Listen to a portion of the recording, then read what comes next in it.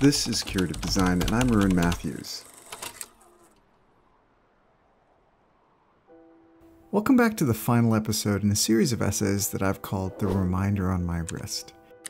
In the second episode, we looked at the incredible story of how astronaut Jimmy Swigert's Omega Speedmaster may have saved the entire Apollo 13 crew from destruction, as well as the award that NASA bestowed upon Omega as a result. Sadly, this perfect record was about to be blemished, allowing the way for another manufacturer to enter into the storied lore of the Apollo moon missions. Let's get started.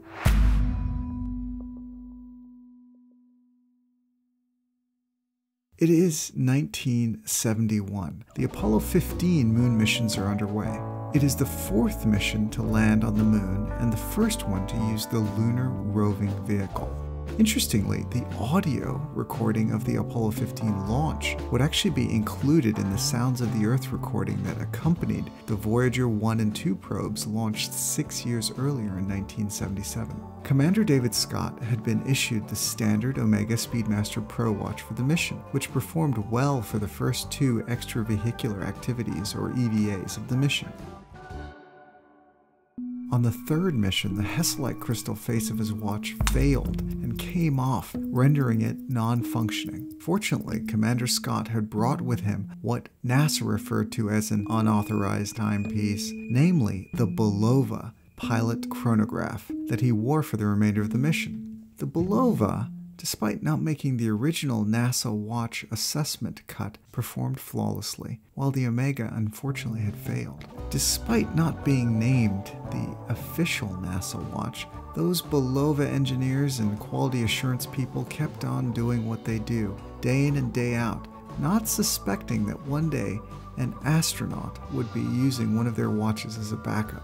Furthermore, the Bulova watch costs one tenth the price of an Omega, and in one fell swoop earned the street cred of being the watch that worked when the official watch didn't.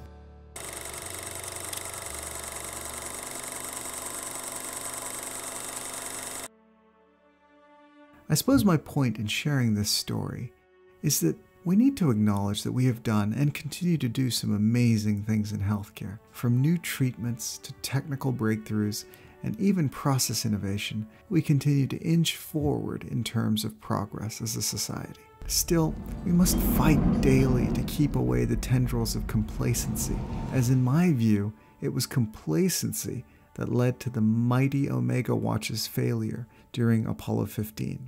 What does that look like in healthcare? Well, it starts with the little things unkind interactions with each other over the phone, in email, or even the chart, incomplete documentation, assuming a we they stance, bristling in anger when a member of the team is brave enough to remind us to complete hand hygiene, perform a timeout, or consider another course of action during a code situation. This is how we slide into the depths of process failure, user error, and ultimately patient harm.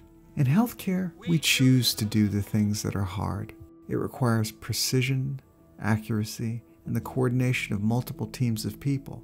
We use measurements to make abstract decisions about what is going on in the bodies of our patients and the power of empirical evidence to guide our management.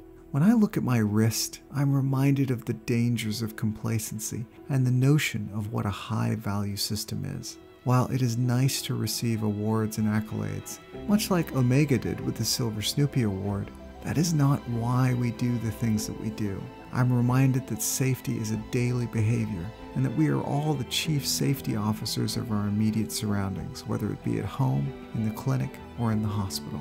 Instead of ending on a picture of a watch, I wanted to end on this picture of the original Mercury 7 astronauts. Tools are important, and even what they symbolize can be important. However, hands down, I believe that people are more important teams of people coming together, living their values of respect, integrity, stewardship, excellence, collaboration, and kindness. This video is about recognizing those that came before us and understanding the work ahead of us. Thank you again. This is Curative Design, and I'm Arun Matthews.